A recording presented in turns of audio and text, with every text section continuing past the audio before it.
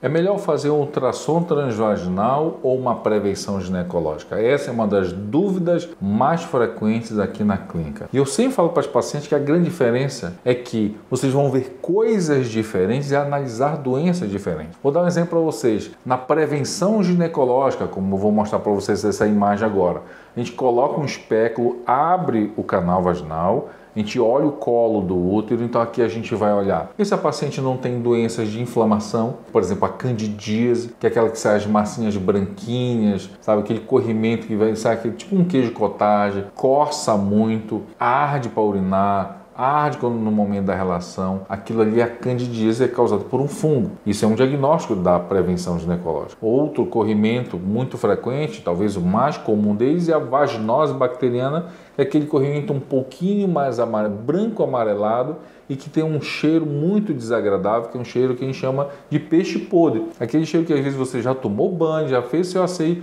mas você continua sentindo, o seu parceiro fala para você que está sentindo, pessoas próximas a você começa até a sentir aquele cheiro muito desagradável. E esse cheiro ele piora durante as relações e do, piora também perto da menstruação. Esse é a vaginose bacteriana que também dá para ser diagnosticada na prevenção ginecológica. Além disso, a gente vai olhar o colo do útero para ver se então lesões de HPV, ferida, raladura no colo do útero, o câncer né, do colo do útero. Então isso a gente está olhando a prevenção ginecológica. Muitas vezes a paciente chega às vezes e diz assim, ah, eu estou fazendo um ultrassom transvaginal dela e eu falo, Dona Maria, Dona Socorro, você está tendo um mioma. Ah, como assim, doutor? Eu fazia minha prevenção todos os anos. E eu tenho que explicar para ela. Mas na prevenção ginecológica a gente não vai ver doenças como mioma. Doenças como cisto nos ovários, mioma, adenomiose, endometriose, pólipos endometriais, a gente vai olhar para dentro da pelve, olhando o útero, olhando as trompas, as tubas, olhando o ovário,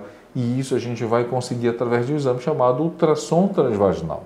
São coisas diferentes. O ideal é que você pudesse fazer os dois exames. E aí sim você vai ter um diagnóstico. Anualmente, o ideal é que você realmente procurasse um ginecologista ou um médico do posto, pedisse e solicitasse que ele fizesse esses dois exames: a prevenção ginecológica, que é o Papa Nicolau, e ultrassom transvaginal para ver se realmente se está tudo bem com o útero, com as tubas e com os ovários. Porque dependendo dessa situação, você de fato vai realmente ter a sua saúde bem controlada. Se tiver alguma situação de doença, aí você vai pode fazer lá o tratamento. Por exemplo, com a candidíase que eu falei para vocês, já tomar lá o fluconazol ou usar um creme vaginal específico com miconazol. No caso, por exemplo, da vaginose bacteriana, fazer o uso do metronidazol ou de uma pomada que eu recomendo sempre, que é o colpistatin, mas você precisa de receita médica para comprar o colpistatin, porque ele tem metronidazol também. Se você tem alguma ferida, raladura que precisa fazer uma queimação, né, uma cauterização lá do colo do útero, você vai saber na prevenção.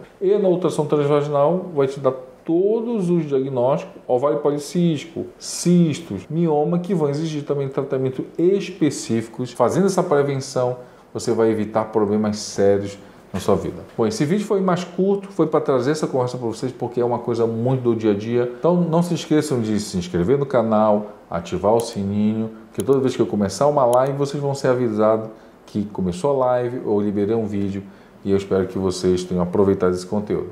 Então um forte abraço, fica com Deus e até o próximo vídeo.